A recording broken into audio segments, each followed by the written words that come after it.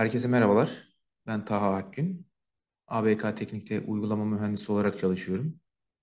Bugünkü sunumda DraftSight Mechanical'ın tanıtımı ve bulutlu olan entegrasyonundan bahsedeceğim. DraftSight Mechanical'ın mevcut araçlarından ve kütüphanelerinin bazılarının tasarımı nasıl üst düzeye çıkardığını göstererek ele alacağım.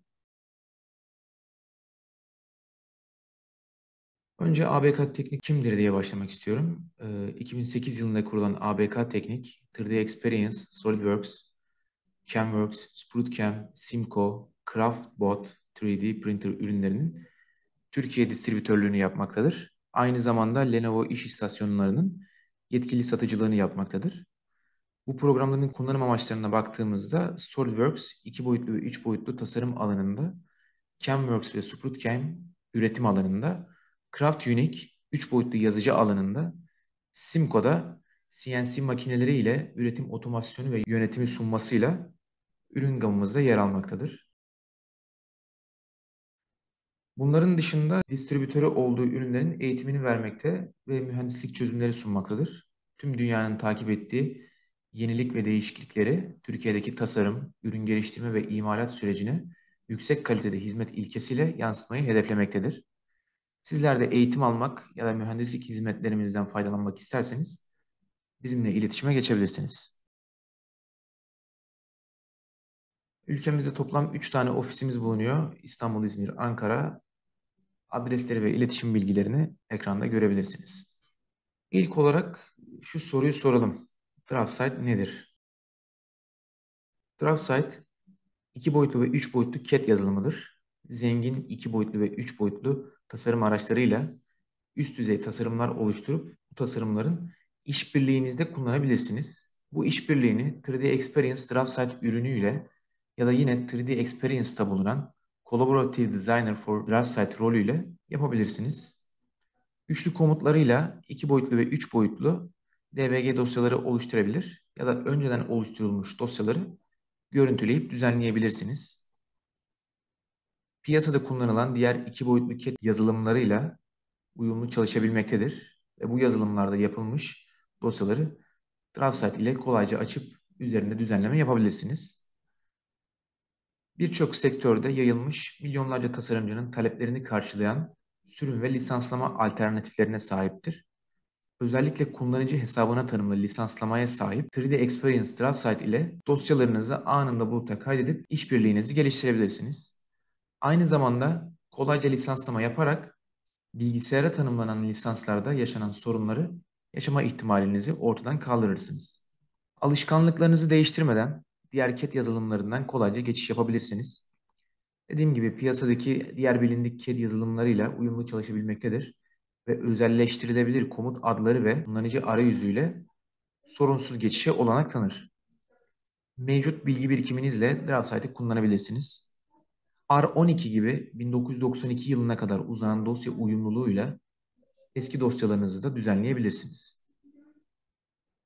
Neden DraftSight Mechanical diyerek devam ediyorum. Piyasada farklı tasarımların birleştirilmesi konusunda bir trend gözlemlenmekte. Özellikle iki boyutlu CAD pazarında kullanıcılar tek bir satıcıdan çözüm aramakta. DraftSight iyi bir alternatif olduğundan müşterilerimizin hem iki boyutlu hem de üç boyutlu tasarım yazılımı ihtiyaçları için çözüm oluşturmaktadır. DraftSight Mechanical tasarımlarınızda mekanik varlıklar ve nesnelerle çalışmak üzere üretilmiştir. DraftSight kullanıcıları için çok tanıdık bir arayüzü sağlıyor. Oturumun ilerleyen zamanlarında DraftSight Mechanical araçları hakkında konuşurken ayrıntılı olarak ele alacağız. Çizim yaparken standartları kullanmak önemlidir. DraftSight, ANSI, ISO, DIN, GIS, BSI standartlarını destekler. Ayrıca bu standartları kendi stilinize göre özelleştirme olanağı da tanır. Parça eklemek, değiştirmek veya çıkarmak için donanım kitaplarını düzenlemeye dair süreci daha sonra ele alacağız. DraftSight'ın genel olarak paketlerinden bahsedelim. DraftSight'ın Professional, Premium, Mechanical paketleri bulunuyor. Bu paketlerin A lisanslama modeline sahip paketleri de Enterprise paketleridir. Aynı paketlerin 3D Experience platformundaki versiyonları da mevcuttur. 3D Experience'ın artılarına sunumun ilerleyen kısımlarında değineceğim. Şimdi paketleri inceleyelim. DraftSight'ın Professional sürümü DVG formatında iki boyutlu çizimler oluşturmak için gerekli araçları sunmaktadır. Premium sürümü dinamik blok düzenleme, sayfa setleri ve PDF içi aktarma gibi özelliklerle iki boyut için üretkenlik araçları açısından daha da ileri gider. Bunlara ek olarak Premium paketi 3 boyutlu tasarımı da destekler. Her iki sürüm de bazı mekanik tasarım özellikleri içerir ama daha önce mekanik iki boyutlu çözümlerle oluşturulmuş çizimleri güncelleme yeteneği yoktur. Bu özelliği barındıran Mechanical sürümünü inceleyelim. İlk bakışta Mechanical sürümündeki arayüzü inceleyelim. Mechanical paketinin arayüzüne yeni komutlar ve özellikler içeren sekmeler eklenmiştir. Bunlar Mechanical içeriği ve Mechanical detaylandırması sekmeleridir. Mekanik içerik sekmesinde mekanik katman yöneticisi, katman grubu yöneticisi ve yardımcı çizgiler eklenmiştir. Mekanik detaylandırma sekmesi hem yeni hem de geliştirilmiş özellikler sunar. Diğer DraftSize sürümlerinden farklı olarak parça referansı oluşturma ve değiştirme, malzeme listesi ve parça listesi oluşturma olanağı sağlar. Parça referansı ve malzeme listesinin kullanabileceği balonlama özelliği de eklenmiştir. Bu özellikleri derinlemesine inceleyelim. DraftSize Mechanical'ı anlamak için 3 ana alan vardır. İlki parça referanslarıdır. Parça referansları iki boyutlu varlıklara kimlik eklerler. Böylece BOM listesinde ayrı bir parça gibi ele alınırlar. Parça referansları tüm parça bilgilerini içerir. Numara, açıklama, satıcı ve benzeri gibi. Mevcut parça referansları değiştirilebilir ve yenileri donanım kitaplığı veya kullanıcı tanımlı özel bloklar kullanıldığında otomatik olarak oluşturulur.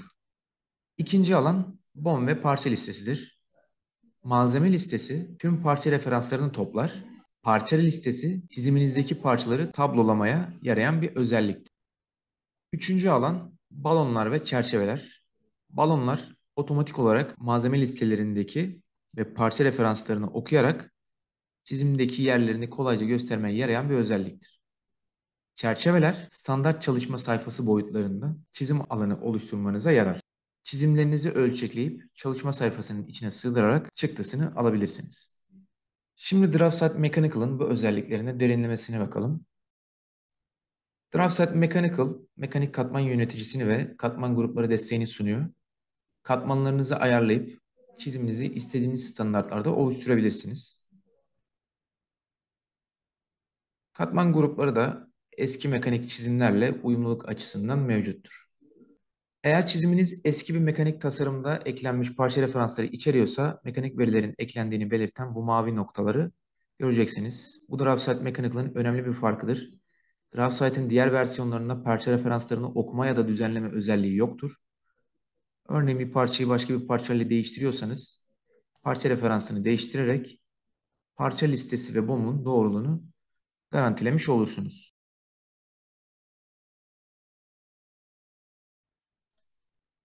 Toolbox kullanacaksanız parça referansları ve tüm mekanik bilgileri otomatik olarak eklenir. Çiziminizi eski bir CAD kullanıcısıyla paylaşırsanız bu referanslar kullanıcı tarafından tanınacaktır. Yine BOM ve parça listesinin güncelliğini sağlamak için otomatik parça referanslarının eklenmesi çok önemlidir. Ayrıca DraftSite'de tasarlanmış bir öğeden parça referansları da oluşturabilirsiniz. Örneğin eklediğiniz herhangi bir blok veya örnekte gösterildiği gibi bir silikonu temsil eden bir spline'ı referans oluşturabilirsiniz. Şimdi malzeme listemize bir göz atalım. BOM'daki adet değerlerini elimizde değiştirdiğimizde mavi renkte gözükmektedir. El ile değiştirmek bize esneklik sağlasa da istenmeyen yanlışlıkları engellemek adına kendi ayarına çevirmek için geçersiz kılmaları kaldırmamız gerekir. Değişikliği şimdilik uyguluyorum ancak çizimimizde iki vidamız var ve yalnızca bir parça referansı eklendi. Parça referansını açıp bu miktarı ikiye çıkardım. BOM'un güncellendiğini de görüyorum.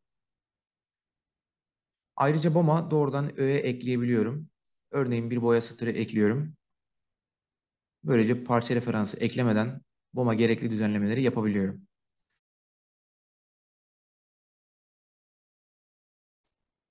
Mechanical'da başka yazılımda oluşturulan parça referansları da okunup düzenlenebilirken diğer paketlerde sadece görsel olarak görüntülenebilir. Verilerimizi birleştirilmiş bir liste halinde düzenleyen bir parça listesi oluşturabiliriz.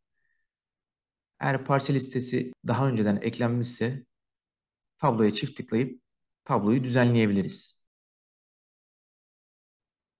Burada görebildiğimiz gibi BOM'da her referans ayrı ayrı listelenir. Burada verileri girebilir ve düzenleyebiliriz. Ancak yinelenen parçalar birlikte gruplandırılamaz. Parça listesinin en önemli faydalarından biri tüm referansları filtreleme ve gruplandırma yeteneğidir. Parça listesi bölümüne geçtiğimizde filtreler ve gruplar seçeneğini görüyoruz. Burada sadece standart parçaları görebileceğim bir filtre oluşturuyorum. Filtre ayrıntılarında standart parçaların çıkarıldığı seçeneği de seçebiliyorum. İstediğim yere yerleştirebiliyorum.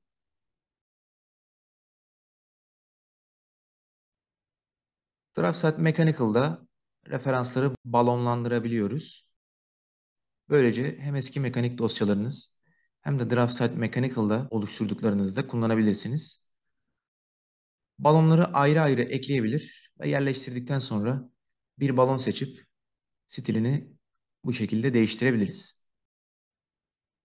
Şimdi DraftSight'ın diğer sürümlerinde bulunan mekanik araçları tekrar gözden geçirmek istiyorum. Donanım kütüphanesinde pull, pin, somun, civata ve vida bulabilirsiniz.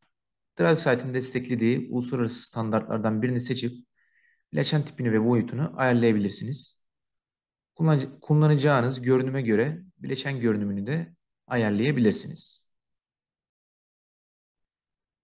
DriveSight'ın desteklediği varsayılan standartları üst tarafta görebilirsiniz. Buradaki bir standardı kopyalayıp kendi standartınızı oluşturabilirsiniz. Standardı oluşturduktan sonra bunu düzenlememiz gerekir. Seçtiğiniz bir bileşene yeni konfigürasyon ekleyip boyutlarına girdiğinizde özel bileşeninizi oluşturmuş olursunuz. Bileşenin tanımını da düzenleyebiliriz. Tanım formatı kısmından eklenebilecek bilgilere ulaşabilirsiniz. Burada da vida bağlantı sihirbazına bakalım. Vidayı somun ve pullarıyla yapılandırabilirsiniz. Çizime eklenecek bileşenin ön izlemesiyle çizimine ekleyeceğinizi görebilirsiniz. Travsat Mechanical'ın diğer sürümlerden farkı otomatik parça referansının eklenmesidir. Diğer sürümlerde yalnızca şekil eklenirken Mechanical ile beraber otomatik olarak parça referansı da eklenir. Delik sihirbazını kullanarak istediğimiz boyuttaki deliği modelimize ekleyebiliyoruz. Delikler eklendikten sonra deliklerin konumunu, boyutunu ve açıklamasını gösteren tablo oluşturabiliyoruz.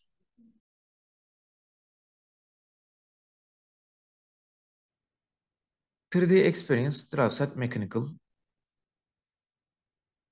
3D Experience DraftSet Mechanical ile masaüstü DraftSet Mechanical paketi arasında içerik olarak herhangi bir fark bulunmamakta. 3D Experience DraftSet'in artısı veriler yerel disk dışında buluta da kaydedilebiliyor. Çizimin ortak çalışma alanına kaydedilmesi sayesinde tasarım üzerinde işbirliği geliştirilmiş oluyor. Tasarımlarınızda değişiklik yapıp revizyon atlatabiliyorsunuz. Böylelikle tasarımın hem eski halini hem de yeni halini saklayabiliyorsunuz. Tarayıcı üzerinden erişim sağlayabildiğinizden çizimlerinizin takibini bilgisayara gerek duymadan sağlayabiliyorsunuz. Burada tabletten e, giriş yapılmış bir 3D Experience platformunda belgemizi bir göz atacağız. Buradaki adımlar uygulandığı zaman kaydedilmiş çizime ulaşıyorum. Bilgisayara gerek duymadan bir tabletten veya bir telefondan çizimi inceleyebiliyorum. Eğer gerekli düzenlemeler yapılacaksa çizim üzerinde notlarımı alıp tasarımcıya da gönderebiliyorum. Önemli çıkarımlar. Şimdi AutoCAD Mechanical ile oluşturulmuş parça referanslarını okuma ve düzenleme, yeni parça referansı oluşturma, parça listesi ve BOM oluşturma ve düzenleme seçenekleri yalnızca DrawSet Mechanical'da bulunuyor. Uluslararası standartları destekleme, ve donanım kütüphanesindeki araçları kullanma seçeneği hem DriveSite Mechanical'da hem de DriveSite'ın diğer paketlerinde bulunmakta. Anlatacaklarım buraya kadardı. Beni dinlediğiniz için teşekkür ederim. Herkese iyi çalışmalar. Eğer sorularınız olursa bana buradaki mail adresinden ulaşabilirsiniz.